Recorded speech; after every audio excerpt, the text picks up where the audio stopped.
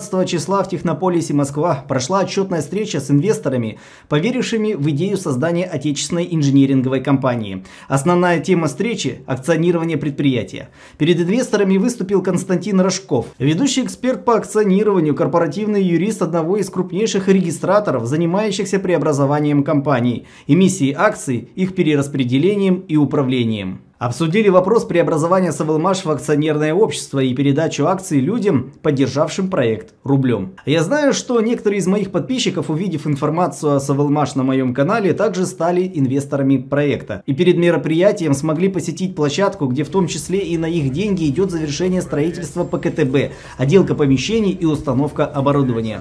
Несмотря на то, что проект состоялся и инжиниринговый центр готов к госприемке более чем на 95%, инвестиции проекту еще нужны ведь впереди вот в эксплуатацию оценка активов и эмиссия ценных бумаг. Это значит, что любой желающий еще может успеть стать инвестором, поддержав проект сейчас. Большое дело делаем, товарищи. Переходите по ссылке в описании к видео и закрепленном комментарии. На специально созданной для инвесторов проекта IT-платформе есть информация о том, как проект развивался и что происходит сейчас. Узнай, как стать совладельцем проекта и принимай решение.